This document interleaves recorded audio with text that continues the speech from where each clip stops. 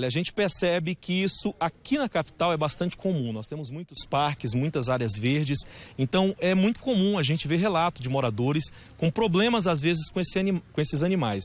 É bom e importante que nós coloque... É, que a gente fale aqui que nós acabamos invadindo aí muitas áreas desses animais e naturalmente eles vão procurar nessas casas alimento, porque os moradores, os próprios moradores, eles acabam ali por uma questão de bondade, dando, ofertando esse alimento para o animal e o animal ele se acostuma com isso. Por isso que ele volta nessas regiões. Só que isso é perigoso, não somente para os moradores, como também para o animal problemas com saúde e outros detalhes também. A gente está vendo esse macaco da raça guariba, porque eu entendo tudo de macaco, eu sei que é um guariba, até porque o tenente já me falou que é um guariba, porque eu não sabia o que era.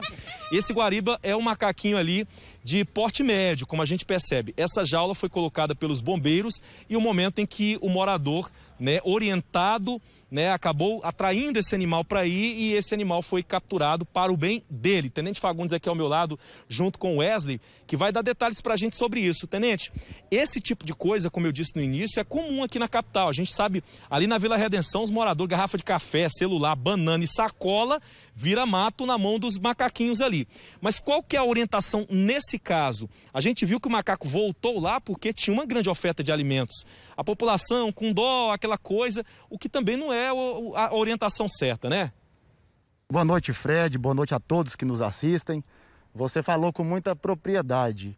É, os moradores, por uma questão de bondade, é, é, insistem em fornecer alimentos para os animais silvestres que porventura estejam em suas residências.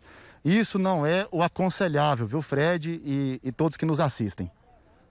Agora a gente vê ali que todo um aparato foi montado, orientado pelos senhores, para que esse macaco fosse capturado, preservando a, a, a, segurança dele e também dos moradores. Então, a dica que fica nesse caso, você viu ali um macaco, é chamar os bombeiros. Não tentar pegar o bicho, porque ele pode morder, isso vai trazer problemas, e ele vai morder por defesa dele mesmo, né? Justamente, o animal silvestre, quando vê acuado, ele naturalmente ele tenta se defender, né? Então, nós não aconselhamos que a população tente capturar esses animais silvestres. Então, o correto é ligar para o Corpo de Bombeiros Militar do Estado de Goiás através do telefone 193. Agora, não é só macaco que aparece aqui, não. A gente já viu cobra nesses condomínios aí, muita cobra e outros animais também. Mesmo que o morador às vezes fique assustado, é muito comum também o gambá, né, em algumas regiões aqui, a orientação sempre é não se aproximar, isolar a área ali, chamar os bombeiros. E outra dica, como ele falou agora há pouco, é não oferecer o alimento. Agora o trabalho dos bombeiros é muito importante porque logo depois esse macaco ele é encaminhado para os setas. Exatamente. O animal silvestre, de modo geral, quando ele é capturado no perímetro urbano, nós encaminhamos para o CETAS, situado ali no setor Vale dos Sonhos, né, que é o Centro de Triagens de Animais Silvestres.